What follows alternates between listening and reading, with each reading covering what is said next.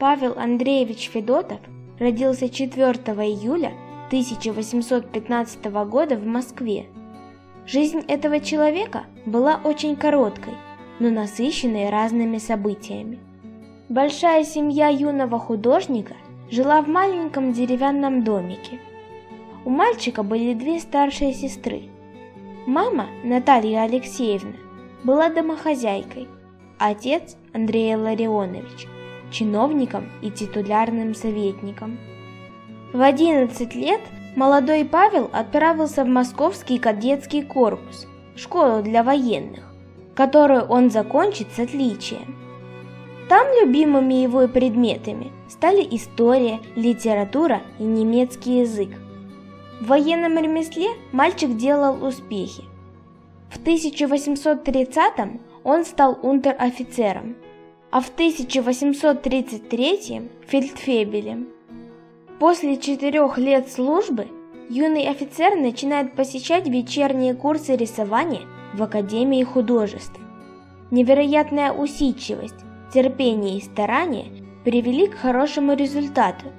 Уже через пару месяцев молодой художник мог точно в деталях рисовать части человеческого тела. Павел Андреевич очень часто рисовал, и его картины с каждым разом становились все красивее и реалистичнее. Рисовал он в основном карандашом или акварелью. Живопись так захватила молодого человека, что он писал картины везде – дома, на работе, на прогулках, рисуя товарищей и коллег и даже незнакомых людей. Продавая эти картины, он получал деньги, которых ему так не хватало – Одной из первых и серьезных работ стал портрет его отца Андрея Илларионовича Федотова, который был подарен родителям. Посмотрев на это полотно, сразу чувствуется огромная любовь и уважение к родителям. Посмотрите, перед вами добродушный стареющий солдат, который всю жизнь верно служил Российской империи, и отец огромной семьи, который делает все, чтобы прокормить ее. Положив шляпу на стол, мужчина протирает очки перед тем, как начать читать газету про военные новости «Русский инвалид» за 13 декабря 1833 года. Это день отцовской гордости, ведь именно сегодня его молодой сын заканчивает военное училище с отличием. Кстати, для многих из вас покажется странным название газеты «Русский инвалид». На самом деле все просто. Инвалидами раньше называли людей, которые воевали, то есть на современном языке ветеранов. Поэтому современное название газеты звучало бы так – «Русский ветеран». В 1838 году, всего за три месяца, молодой художник пишет картину «Встреча великого князя».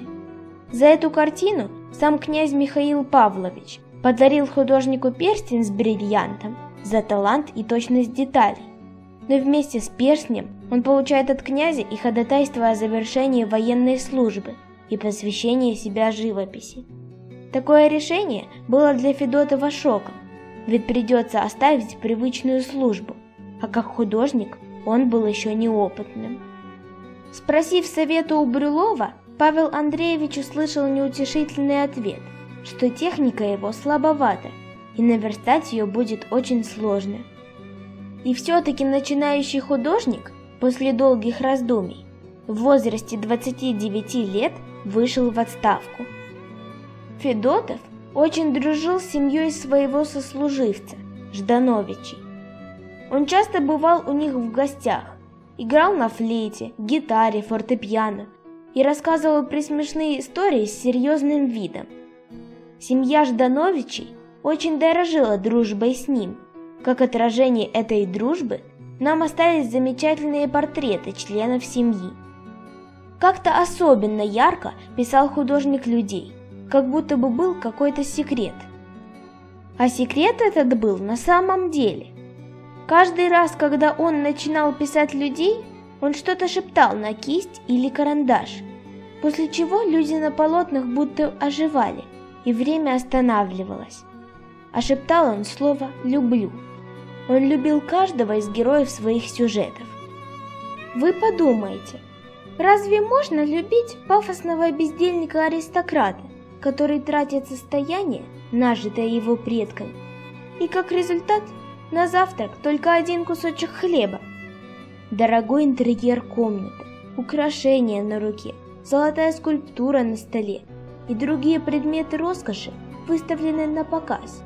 Это не больше, чем желание создать впечатление обеспеченной жизни. Его дорогой пудель уже громко лает, почуяв гостя. Хозяин испуганно и торопливо прикрывает книгой свой не совсем богатый завтрак. Пусть посетители увидят только одну упаковку от устриц.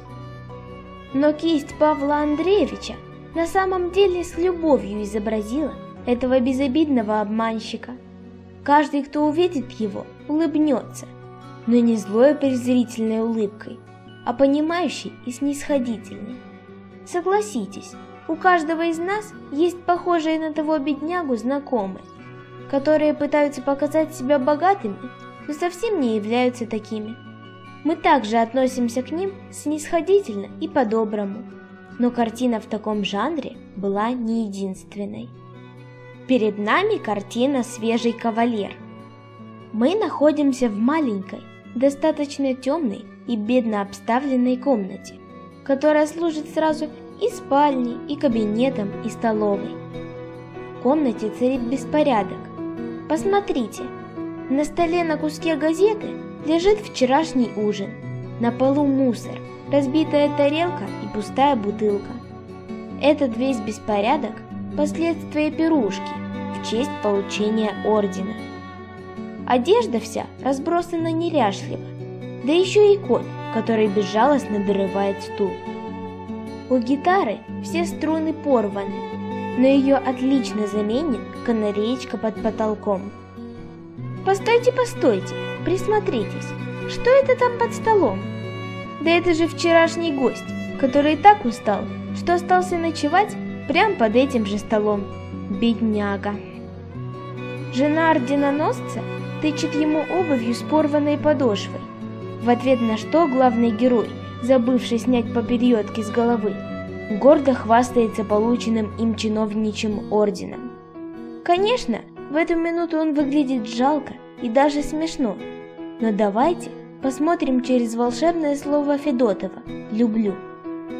Теперь мы понимаем, что даже таким маленьким людям, как он, хочется хоть иногда погордиться хоть перед кем-нибудь своими достижениями, пусть даже такими маленькими.